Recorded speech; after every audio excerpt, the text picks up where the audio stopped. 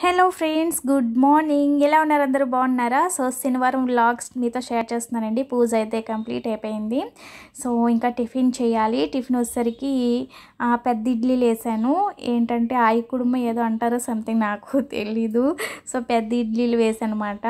So పెద్ద ఇడ్లీలు బాగుంటాయి కదా ఒక్కటి తింటే చాలు. వామో కడుపు అంతా ఫుల్ అయిపోతుంది.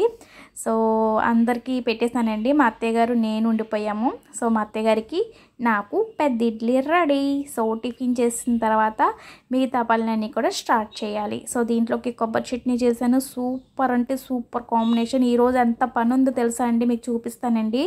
చాలా ఎక్కువగా పని ఉంది సో టిఫిన్ తినేసి బలం తెచ్చేసుకుని మిగతా పనులన్నీ కూడా స్టార్ట్ చేస్తాను.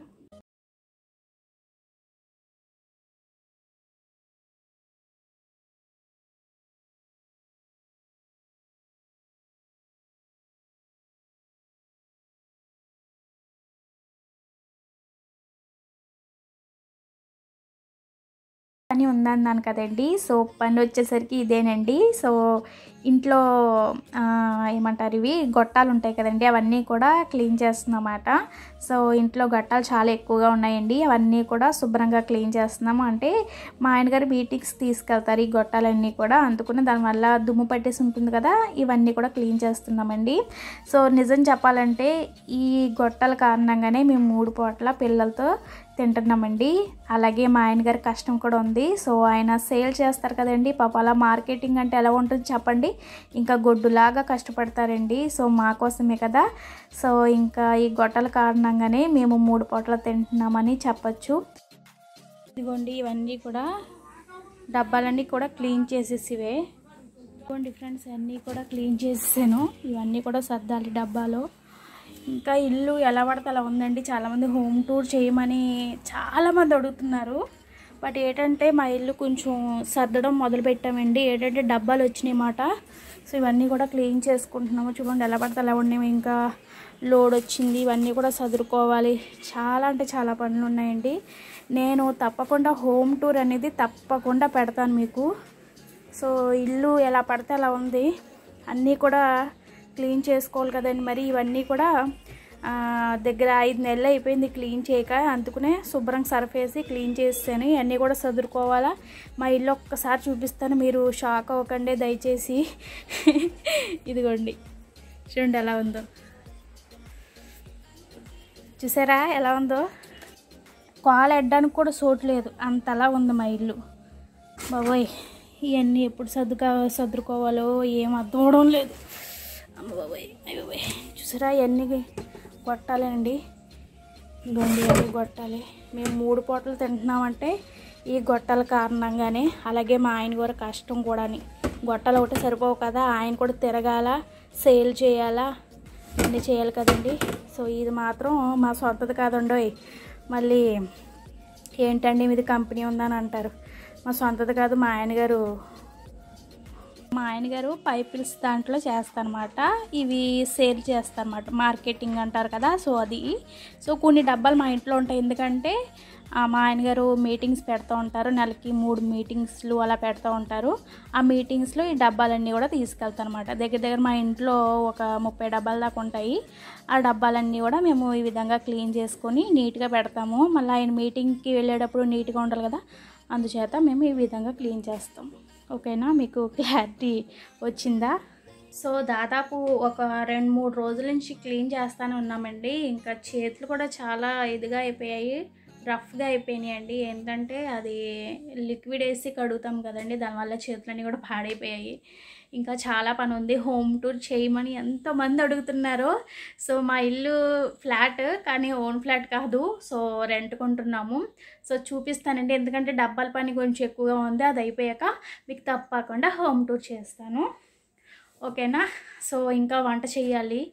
సో ఈరోజు శనివారం కదండి. పిల్లలు అందరూ కూడా స్నానం చేస్తారు. సో నా పూజ కూడా కంప్లీట్ అయిపోయింది కదా. మీకు ఇందాక చూపించాను కదా.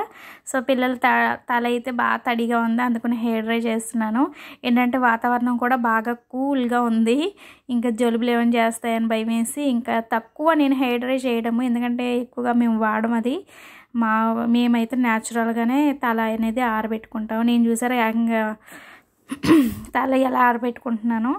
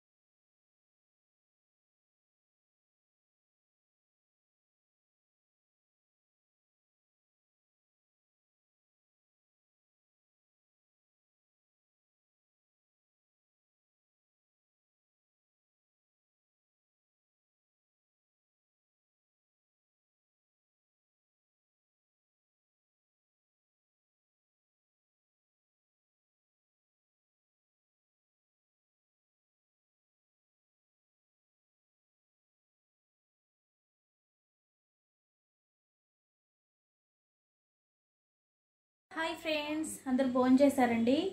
సో మేమైతే ఇంకా చేయలేదు. ఇప్పుడు టైం వచ్చేసరికి పన్నెండు కాదు ఒంటి గంటన్నర అవుతుంది. ఇదిగో వంట వచ్చేసరికి ముద్దపప్పు రసం పెట్టాను. ఇప్పుడేమో అప్పడాలు ఫ్రై చేస్తున్నాను అనమాట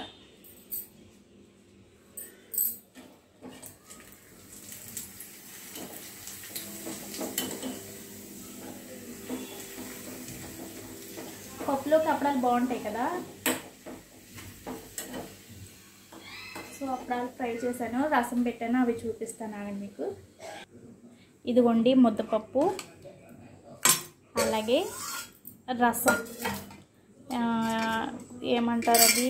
వాము ఎక్కువ వేసి రసం పెట్టానండి. అరుగుదల బాగుంటుందని వాము ఫ్లేవర్ అయితే ఎక్కువగా ఉంటుంది రసం అయితే చాలా బాగుంటుంది అన్నమాట సో అప్పడాలు ఫ్రై చేస్తున్నాను. హాయ్ అండి మేమైతే బయటకు వచ్చామండి ఏంటంటే మా అత్తయ్య గారి ఫోన్ పాడైపోయింది. సో మా అత్తయ్య గారికి పెద్ద ఫోన్లు వాడడం రాదన్నమాట. సో చిన్న ఫోన్లే మా అత్తయ్య గారికి అలవాటంట. సో అందుకనే మేము ఫోన్ కొనడానికి మేము షోరూమ్కి వచ్చేసాం అన్నమాట మా అత్తయ్య గారి ఫోను మా ఆయనగారు చూస్తున్నారు. అసలు ఏంటి క్వాలిటీ సౌండ్ ఇవన్నీ కూడా మాట్లాడుతున్నారు. నేనైతే అలా కూర్చొని చూస్తున్నాను. ఎందుకంటే ఫోన్ల కోసం నాకు అంతగా పెద్దగా ఏమీ తెలియదండి. మా ఆయన గారికి తెలుసు. నాకు పెద్దగా ఏం తెలియదు. అందుకనే నేను అలా కూర్చున్నాను. మా ఆయనగారేమో చూసి మంచిది ఫోన్ తీసుకున్నారన్నమాట. సో ఇంకా ఇంటికైతే వెళ్ళిపోవాలి. అత్తయ్య గారు ఫోన్ కొనేసాం. హ్యాపీ. సో అత్తయ్య గారి కోసం మొబైల్ అయితే కొనేసామండి. సో అత్తయ్య గారికి పెద్ద ఫోన్లు వాడడం రాదు. అందువల్ల చిన్న ఫోన్స్ తీసుకున్నాము. అత్తయ్య గారికి అదే అలవాటు అనమాట సో మొబైల్ అయితే కొనేసాము. మరి ఈ వ్లాగ్ ఎక్కడితో ఏం చేస్తున్నాను. ఈ వ్లాగ్ మీకు నచ్చితే వెంటనే ఒక లైక్ ఇచ్చేయండి. కొత్తగా ఎవరైనా మన ఛానల్ని ఇంకా చూసి సబ్స్క్రైబ్ చేయకపోతే ప్లీజ్ సబ్స్క్రైబ్ చేసేసుకోండి. మీరు సబ్స్క్రైబ్ చేస్తే నేను పెట్టిన ప్రతి వీడియో మీకు నోటిఫికేషన్గా ఈజీగా వచ్చేస్తుంది. మీరు ఫ్రీగా ఉన్నప్పుడు నా వీడియోస్ అన్నీ కూడా మీరు చూడొచ్చు. సో అలాగే అందరికీ కూడా థ్యాంక్ యూ సో మచ్ అండి. నా వీడియోస్ అందరూ కూడా చాలా బాగుంటున్నాయి. చాలా బాగా మాట్లాడుతున్నారు. చాలా సరదాగా ఉంటున్నారా అని అంటున్నారు. So thank you so much అండి. సో మీ అందరి సపోర్ట్ నాకు కావాలి. అలాగే సపోర్ట్ ఇస్తారని మనస్ఫూర్తిగా కోరుకుంటున్నాను. మరి నేను కలుస్తాను మరొక మంచి బ్లాక్తో బాయ్ ఫ్రెండ్స్ బాయ్